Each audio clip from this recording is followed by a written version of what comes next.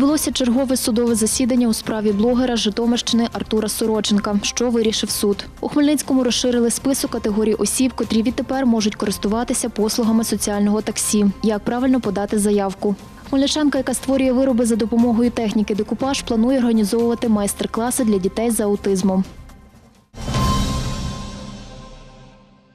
На черговому засіданні у справі блогера Житомирщини Артура Сороченка, якого підозрюють у побитті ветерана АТО ООС, у залу суду не з'явився ані підозрюваний Артур Сороченко, ані потерпілий Володимир Баула. Повідомлялися судовими повістками з повідомленням.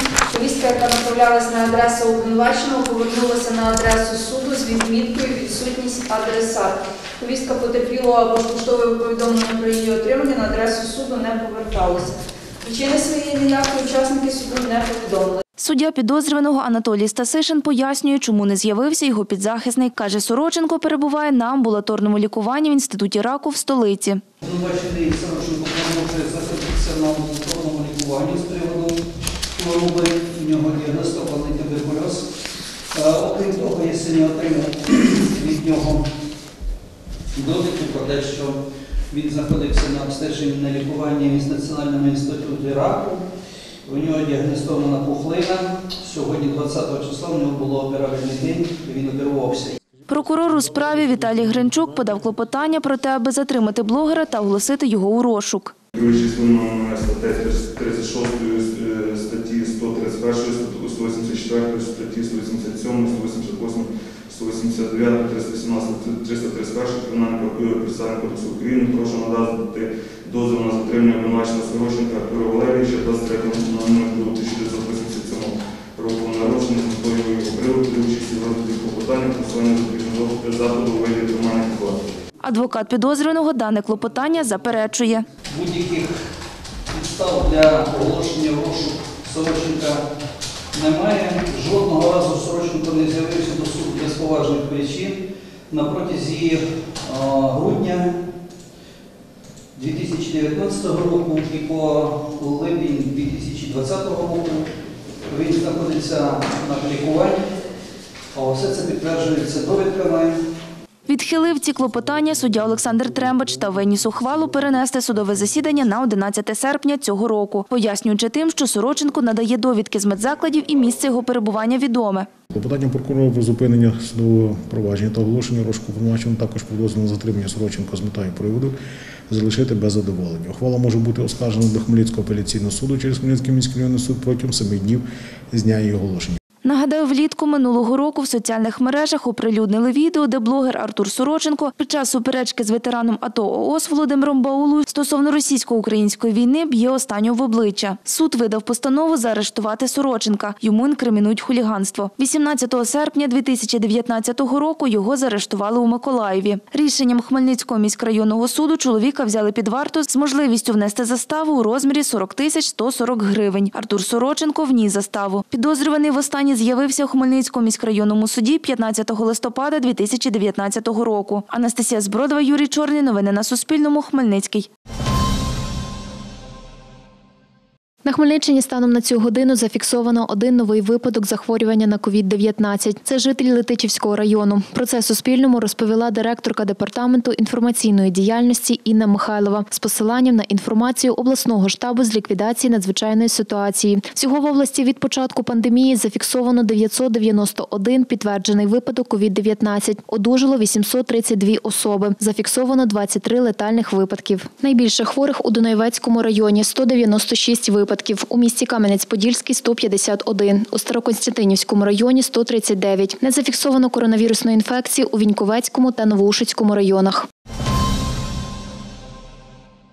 У Хмельницькому розширили список категорій осіб, котрі відтепер можуть користуватися послугами соціального таксі. Про це Суспільному розповів начальник управління праці соціального захисту Хмельницької міської ради Слов'ян Воронецький. Користувач соціального таксі Андрій Маціцький, інвалід позору першої групи, розповідає, що користується послугами соціального таксі вже рік. Раніше не користувався, бо в мене дружина зряча, я якби не мав потреби, потім попробував, що це дуже зручно. Один зараз дуже часто користуюсь, пару разів на тиждень. Це хлопчик Орест. У нього ДЦП. І майже щодня Аліні Лоєвській разом із сином доводиться їздити на процедури. Так як ми в інші кінці міста їздимо постійно чи на масаж, чи на іпотерапію, на ну, займаємося на кониках. От зараз звідти якраз їдемо. І коли ми беремо візок з собою, він дуже важкий. Це інвалідний візочок спеціалізований для дитини, біля 50 кілограм. Просто мені його нереально складати, розкладати і, і підіймати. То, а ці водії вони дуже такі привітні, і допомагають, і, і візочок допоможуть і зняти, і покласти, і, і двері відчинять. З 2016 року у місті Хмельницькому діє соціальне таксі, каже начальник управління праці соціального захисту Хмельницької міської ради Слов'ян Воронецький. З ініціативи нашого міського голови, і волонтерів, і громадської організації Світ без бар'єрів. Є сьогодні фонд Карітас, який до того десь щось приклав. Тому е, була така ініціатива. е, Вона була підтримана, е, підтримана і депутатами міської ради. У 2019 році для надання послуг соціального таксі з міського бюджету взяли 780 тисяч гривень. Цього ж року ця сума збільшена, додає Слов'ян Воронецький. Є кошти, які відділяються е, на протязі тих е, чотирьох років. Фінансове забезпечення було і є. І в 2020 році є 826 тисяч. Є в нас сьогодні бюджет. Е, Якщо буде не вистачати, звичайно, ми ще додаємо через сесію міської ради. Тому немає ніяких проблем.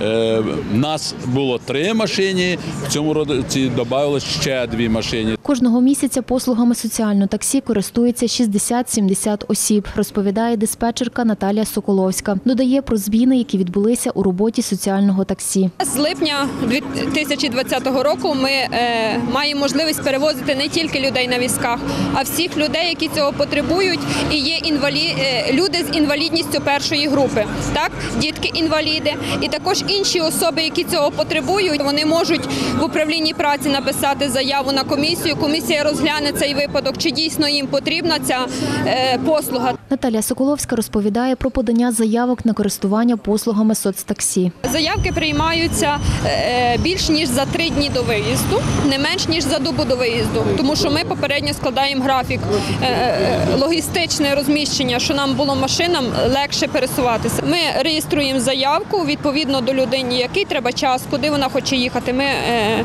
маршрут узгоджуємо попередньо. За словами начальника управління праці соціального захисту Хмельницької міської ради Слов'яна Воронецького, на обліку перебуває 418 осіб з порушенням опорно-рухового апарату, а саме особи з інвалідністю першої групи 206, особи з інвалідністю другої групи 112, особи з інвалідністю третьої групи 23, діти з інвалідністю 77. На сьогоднішній день розширено категорії одержувачів даної послуги, додавши осіб з інвалідністю першої групи, діти-інваліди на обліку 208 осіб. Валерія Ковальчук, Олександр Горішевський. Новини на Суспільному. Хмельницький. Вісім років створює різноманітні вироби за допомогою техніки декупажу хмельничанка Оксана Попович Андрес. Каже, займатися цим видом почала з появою доньки, коли перебувала у декретній відпустці. Знайомство з технікою декупажу для Оксани Попович Андрес розпочалося з відвідин майстер-класу, куди її запросила подруга. Каже, спочатку не дуже сподобалося, бо вважала, що це легко та просто. Перша робота декор новорічної пляшки з шампанським. Коли побачила, що е, декупаж це не просто переклеїти серветку, картинку, він супроводжується е, іншими техніками. Ні, мені це сподобалось. Я почала цим займатися. Майстриня полюбляє зістарені речі, тому перевагу надає темним кольорам, переважно зеленим відтінкам. Улюбленим заняттям стало декорування різдвяно-новорічних іграшок з поєднанням інкрустації та ліпнини. Свої вироби пані Оксана часто дарує рідним, друзям та новим знайомим. Я вважаю, що робота вона не повинна стояти вдома. Я тому і роздарюю.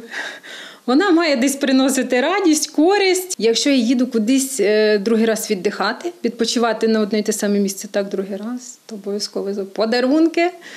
Так що мої подарунки є кругом. Я дуже люблю дарувати подарунки. У роботі майстриня використовує матеріали, які замовляє за кордону. Найбільшим попитом серед її робіт користуються вироби для кухні та шкатулки. Такі от коробки, наприклад, там, е, для спецій, щось, якісь короба. Це все е, для кухні замовляють. І я особисто дуже полюбляю шкатулки. Тому, ну, в основному, якщо порахувати, то саме більше е, в житті я зробила і саме більше пішло це шкатулки. Найбільше замовлення, яке доводилось виконувати, декор 20 пляшок шампанського до нового року, каже Оксана Попович Андрес. Додає, найважче працювати із тими, в кого своє бачення виробу. Тому намагаються, аби у неї було кілька готових робіт, щоб запропонувати клієнтам. Я от сама е, до кінця не уявляю, тому що матеріалів настільки багато, що навіть коли ти робиш ту кулю чи ту шкатулку, ти ще не знаєш, що там, ти тільки малюнок е, приклеїв, і ти ще взагалі не, не знаєш. Буває так то, то, то підбираєш. Раз якусь річ положив і все, вона вписалася. І коли тобі говорять якісь рамки, були такі е, випадки, що я просто відмовлялася. Оксана Попович Андрес проводить майстер-класи з техніки декупажу. Вважає, такий досвід спілкування допоможе їй в освоєнні професії психолога. У родині виховується дитина з аутизмом, тому жінка планує започаткувати серію майстер-класів для батьків з такими дітьми. Я хочу бути психологом і допомагати по підтримці батьків, особливих дітей, щоб допомагати батькам займатися в домашніх умовах. От тому я думаю, це от і майстер-класи, і це все воно теж дуже до- добре туди впишеться і допоможе. У мене такий просто новий план на своє життя, скажімо так. От, і це як пункт є там. Я думаю, що ближче до різдвяних цих свят ми це все зробимо. Леся Боровець, Віктор Кривий. Новини на Суспільному. Хмельницький. Через карантинні заходи спортивна школа перейшла на нові вимоги до проведення занять, розповідає директор дитячої юнацько-спортивної школи номер 2 Сергій Солтик. Це і дезінфектори, і маски, і також для перевірки температури, температурні скринінги, термометри. Е, Всі діти, які займаються, вони перед тим, перед початком занять проходять температурний скринінг. Тренера перевіряють температуру, відмічають в журналі для того, щоб бачити. І якщо є якісь відхилення, хоча таких не було ще, від, повинні відправляти дітей додому. Сергій Солтик додає, На шахах ми зробили дистанцію для занять, е, поставили по два столи, щоб діти мали між собою дистанцію майже 2 метри, а також займаються в масках і постійно е, кожну годину е, прибиральниця приймає, про- провітрює приміщення, а також протирає всі шахи, столи, стільці. відвідувачка шахового клубу Ксенія Лук'янова займається шахами вже 7 років. На питання, чому обрала цей вид спорту, каже таке. Вирішила займатися з прикладу мого давнього приятеля. Я побачила, що він не займається шахами, і вирішила, що теж хочу спробувати. Я спробувала і залишилася тут. Тренерка з шахів Марина Зінгайло розповідає про кількість занять під час карантину. У нас в школі працюють п'ять тренерів і різні вікові групи дітей.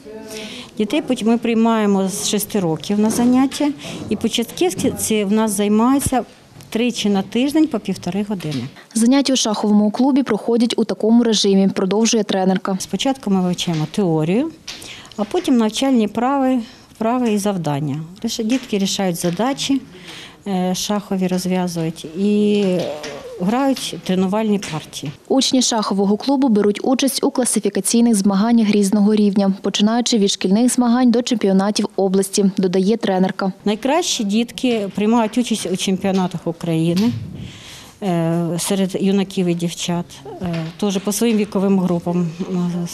І ну, є навіть у нас такі е, учні, які приймали участь у чемпіонатах Європи. Валерія Ковальчук, Олександр Горішевський. Новини на Суспільному. Хмельницький.